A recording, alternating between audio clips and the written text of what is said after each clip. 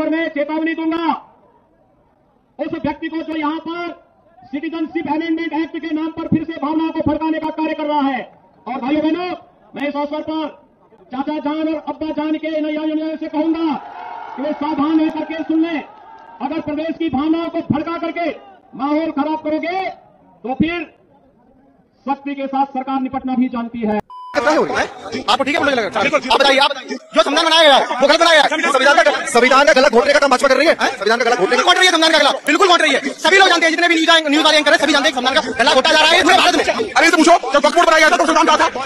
वक्फ board बनाया गया था तो संविधान कहाँ पे था? आप बताइए। कश्मीरी हुकूमत निकाला था तब फ़िलहाल का पटा पैंतीस के नाम पे लैट्रिन साफ़ कराई थी दलितों से।